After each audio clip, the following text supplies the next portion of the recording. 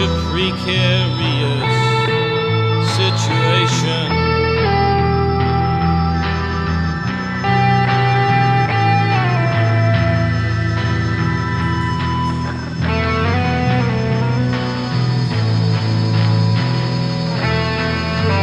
She said she knows hotel rooms and railway stations, it's all so transitory.